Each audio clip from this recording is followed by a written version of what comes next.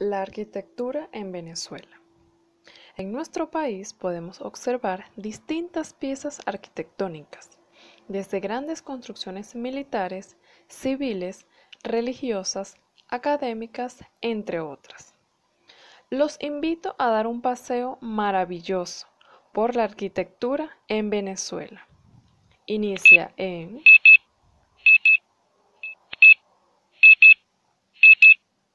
Arquitectura civil. En Venezuela, los indígenas desarrollaron distintos tipos de vivienda para tener un lugar de refugio, protegerse de la lluvia, el sol, tener un sitio de descanso y de reunión familiar.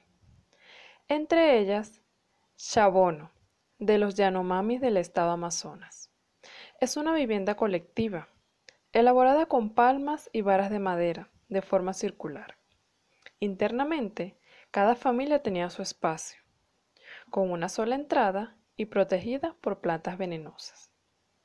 Otro tipo de viviendas son las, son las realizadas por los guaraos, una construcción mixta, realizadas con paredes de bareques y horcones clavados en la tierra tipo chozas.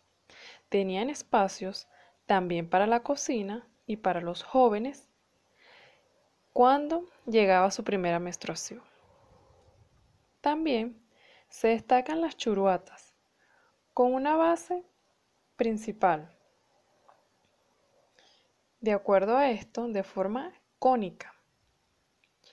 Los palafitos de vara de mangle y techos de palma con paredes de enea o junco propios de la zona, formando comunidades en agrupaciones bien ordenadas, conectadas por canoas y balsas. Estas eran predominantes en el estado Zulia. Al llegar los españoles, el tipo de vivienda fue cambiando, y con ello la implementación de materiales como las tejas. Estas construcciones eran de techos altos, corredores, caracterizadas por un patio central, el zaguán, el solar o patio posterior, y el corredor interno alrededor del cual se ubicaban las habitaciones. Los materiales utilizados para la construcción son la tapia española, el bareque es autóctono, la paja, la teja, la madera y la piedra. Debido a este tipo de construcciones predominantes en la capital, ella adoptó el nombre de la ciudad de los techos rojos. Algunas de las construcciones representativas de la época colonial se tiene la Casa del Libertador, la Casa Amarilla, la Casa de 100 Ventanas en Coro. Con el transcurrir del tiempo, las construcciones fueron cambiando y con ella distintos estilos de vivienda, como los superbloques o edificios. Se destacan las construcciones del Silencio, el 23 de enero y distintas urbanizaciones como Altamira, El Paraíso y esto específicamente en Caracas. Con el constante crecimiento de la población, también se realizaron muchas construcciones de vivienda con otro tipo de materiales, como los zinc, la madera, los bloques, entre otros. Estas predominan en las montañas del Valle de Caracas, conocidas como las zonas populares. También se suma el complejo urbanístico de Parque Central, ubicada también en esta zona, el Parque Residencial Juan Pablo II, en Montalbán, y así muchas otras obras arquitectónicas habitacionales a lo largo y ancho de todo el país. Arquitectura religiosa. Las iglesias o templos también forman parte importante para la civilización. En la época de la colonia se realizaron la construcción de muchos de ellos, teniendo una planta rectangular inspirada en la tradición basilical tres naves separadas por arcos sobre columnas toscanas y ningún cuerpo adicional como capillas laterales, ábside, crucero o previsterio. Además, sobresale el trazado geométrico del rectángulo. Entre las más destacadas se menciona la Catedral de Caracas, la Catedral de Coro, la Iglesia del Calvario de Carora, entre otras ubicados en todas la mayoría del estado del país, debido a que predomina la religión católica y este es el recinto utilizado para la reunión y adoración de su Dios. Arquitectura militar. En Venezuela existen aproximadamente 60 fortalezas militares, o en este caso, para la época de la colonia, este era el monto que predominaba para ese momento. ¿Para qué? Para, defender a los para defenderse de los invasores. Estos, en su mayoría, ubicaban zonas altas para tener una mejor visibilidad y realizar buenos ataques.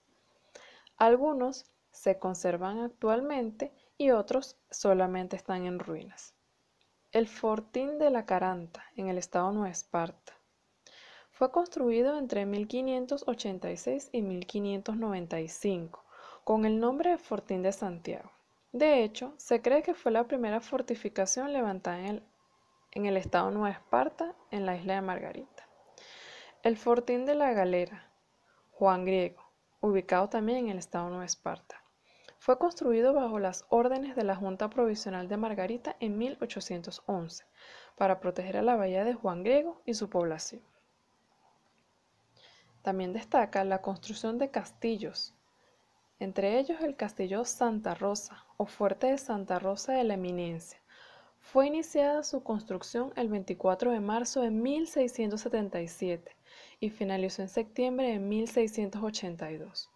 Estuvo a cargo del maestre de campo don Juan Fermín de Udrobo, gobernador y capitán general de Margarita.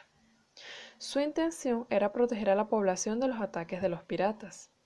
Según la historia, durante la Guerra de Independencia de Venezuela estuvo detenida en el castillo Luisa Cáceres de Arismendi. Otros también ubicados allí en el estado de Nueva Esparta es el castillo de San Carlos de Borromeo, en Pampatar. En el estado Zulia, el castillo San Carlos de la Barra, al norte de Maracaibo. Y en el estado Sucre, el castillo de Araya, en la península de Araya. Cada una de estas obras fueron o son de gran importancia para nuestro país. Algunos de los arquitectos que contribuyeron en el desarrollo de nuestras obras o de muchas obras que se destacan en el país son Carlos Raúl Villanueva, un arquitecto que puso su granito de arena en distintas áreas, educación, recreación, siempre desde lo arquitectónico, preocupado por ofrecer una construcción de calidad para el bienestar colectivo, influenciado por Europa, pero sin olvidar la esencia del país. Alejandro Chatain. Sus trabajos destacaron por las tendencias del neobarroco, neorrenacimiento y neorrománico. Se destaca el Teatro Nacional, la Academia Militar, el Cuartel de la Montaña, el Nuevo Circo y la Plaza de San Jacinto que fue rediseñada por el arquitecto. Tomás José Sanabria, arquitecto del Hotel Humboldt y el edificio de la Electricidad de Caracas. José Galía, arquitecto de la Torre Polar y el Ateneo de Valencia. Para finalizar, quiero dejarles cinco obras arquitectónicas muy importantes fuera de Caracas. Teatro Baral, ubicado en el estado Zulia. La Casa Huisposcuana, ubicado en el estado La Guaira. La Catedral de Mérida, ubicada en el estado Mérida. La Flor de Venezuela, en el estado Lara. Y por último, la Virgen de la Paz, en el estado Trujillo. Palabras del arquitecto Carlos Raúl Villanueva.